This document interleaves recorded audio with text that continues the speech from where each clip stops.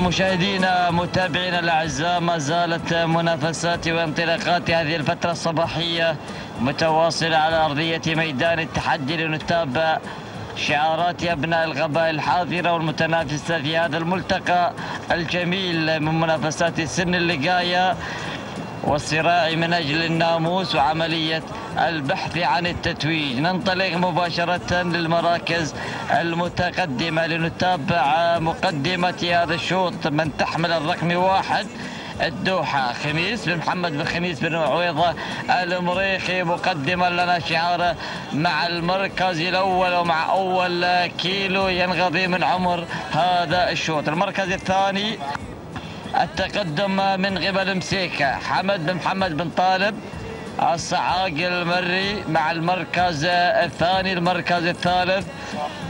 وتابع مشاهدينا الكرام على ثالث المراكز. ظنون نابت محمد بخير العامري مقدما لنا شعار على ثالث التحديات. المركز الرابع.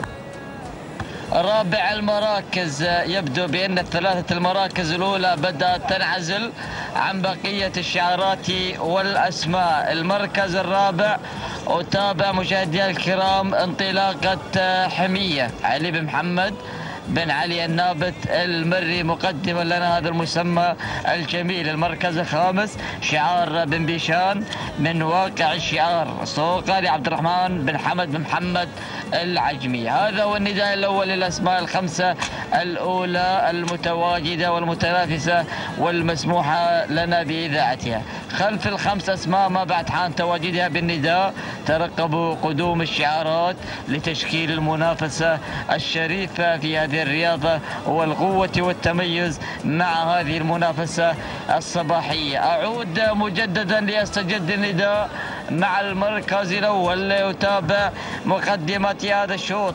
الدوحة ما زالت في روحة جميلة مع المركز الأول. خميس بن محمد بن خميس بن عويضة المريخي مقدما لنا شعاره انتصفت المسافة يا بن عويضة المريخي. انتصفت مسيرة هذا الشوط لينتصف المستوى الفني مع هذه الانطلاقة الرائعة. المركز الثاني ثاني المراكز شعار الصعاق مع مسيكة حمد محمد بن طالب الصعاق المري مقدمة لنا شعاره بمحاولة الضغط على الدوحة مع المركز الثاني. مسيكة تراقب أوضاع الصدارة بانطلاقتها. المركز الثالث وتابع مشاهدينا الكرام ظنون ونابت محمد بخيل العامري مقدم لنا ظنون وظنون الناموس والانطلاق مع المركز الثالث. المركز الرابع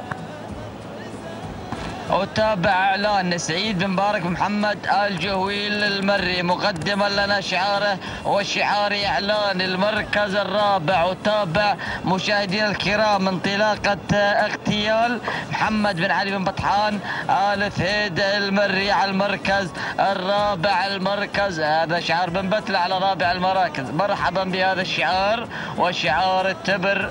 من فاز معنا في السباق المحلي الأول. المركز الخامس وصل شعار الشراب على خامس المراكز مع أيضا مساحة لراشد بن أو هنالك بن مقارح مساحة لراشد بن بخيت بن مقارح المري وهنالك أيضا الوصول من قبل طيش ناصر محمد بن راشد الدوسري. هذه الأسماء بدأنا نقترب من لافتة الكيلو متر الأخير. يا كيلو ما بعد كيلو دخلنا أجواء هذا الكيلو الملتهب بالمنافسة. يا سلام الأسماء الأسماء بالمقربة من بعضها البعض وتابع وتابع خلف الأسماء العشرة الأولى. شعار آل عبيد واصل وابو هلال غادم. يا سلام وشعار أيضا بن جبريل والشعارات الواصلة. شعار بن منانة الله يا الغيلاني. أيضا غادم بهذه اللحظات بشعاره المميز. الخطورة بانت بهذه اللحظات.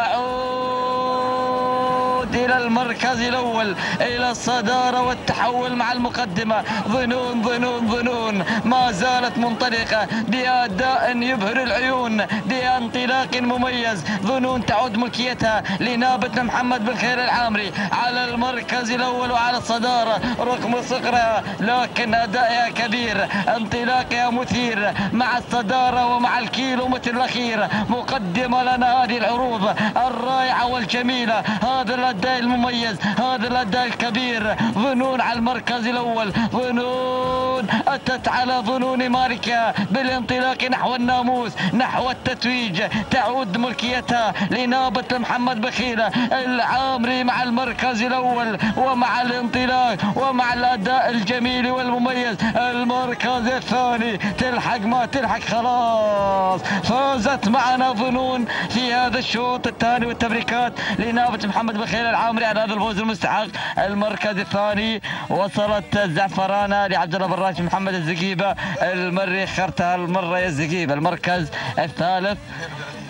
كان الوصول من قبل قرام لراكان بن محسن بن فلاح آل زايد الهاجري. المركز الرابع. كان الوصول من قبل الذيب لأحمد براش بن سالم غلال. المركز الخامس.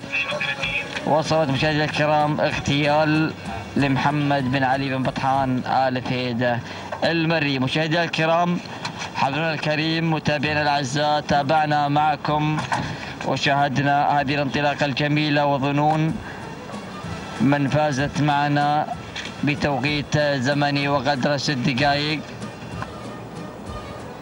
أسعفنا بالتوقيت يا أبو شارب ست دقائق 19 ثانية خمسة الزمن الثاني الثاني التبريكات.